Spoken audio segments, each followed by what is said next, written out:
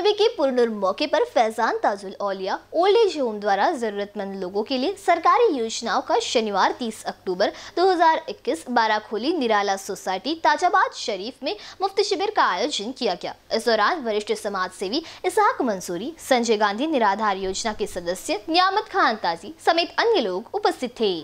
जरूरतमंदों को सहायता करने के उद्देश्य से ईद मिलाद नबी के पुरनूर मौके पर Faizan Tajul Auliya old age home द्वारा ऐसे जरूरतमंद जिनकी उम्र पैंसठ साल से ऊपर है, बेवा औरतें या जिनकी पति लापता है, ऐसी कुआरी लड़कियाँ जिनकी उम्र पैंतीस साल से ज़्यादा है, जो लोग कैंसर सीकल सेल जैसी बड़ी बीमारियों में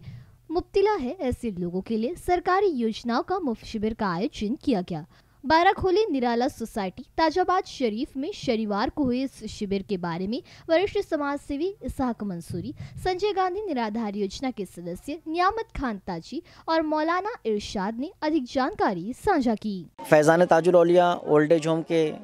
जानब से। आज का जो प्रोग्राम है, ये सरकारी योजनाओं का, मुफ़्त शिविर का, ये प्रोग्राम इसलिए रखा गया है कि जो निराधार हैं होता क्या है, जो समझदार लोग हैं, वो तो अपने कांटेक्ट कर लेते हैं और अच्छे अच्छे लोगों से कांटेक्ट करके उनका काम हो जाते हैं। लेकिन जो गरीब हैं,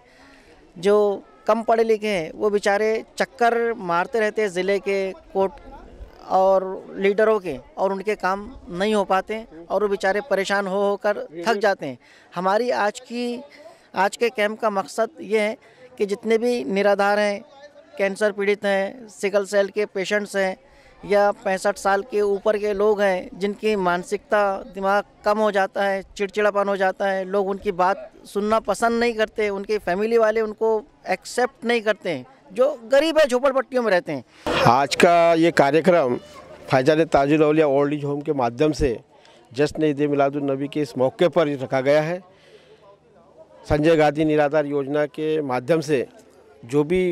स्कीम है, जैसे श्रावण बाढ़ योजना हो गया विधवाओं की योजना हो गया, सिकल सेल की योजना हो गया, हैंडीकैप्स की योजना हो गया, इस तमाम योजनाओं के लिए हमने यहाँ एक मुक्त शिविर रखा गया है। इस मुक्त के अंदर में जो गरीब लोग हैं, उनको लाभ मिलना चाहिए। इस उद्देश्य से,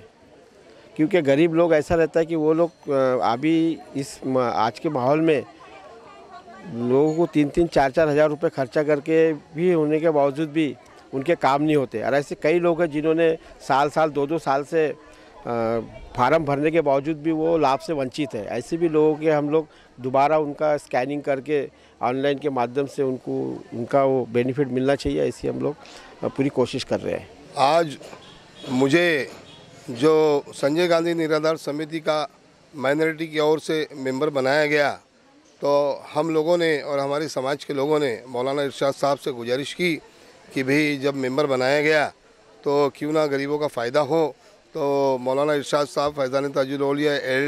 old age home की जानब से उन्होंने भी लब्बैक कहा और सारा जो खर्च है, इनकम रहवासी वगैरह जो शासन का लगता है, वो फैज़ान ताजुलिया यहाँ अपनी जानब से उठा रहा है और मैं और इशाक भाई हम लोग यहाँ पर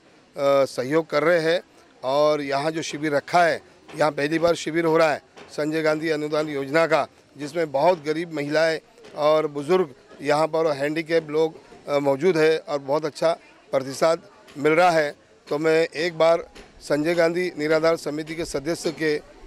हैसियत से फैज़ान तजुल के चीफ मौलाना इरशाद साहब को बहुत बहुत बधाई देना चाहता हूँ आपके चैनल के माध्यम से। हमारे समाज में कई ऐसे लोग हैं जो सरकार की कई योजनाओं से वंचित है। ऐसे लोगों को सहायता हो, इस उद्देश्य से शिविर का आयोजन किया गया। कैमरा पर्सन माइकल के साथ दिशा हटवार बी न्यूज़ नागपुर।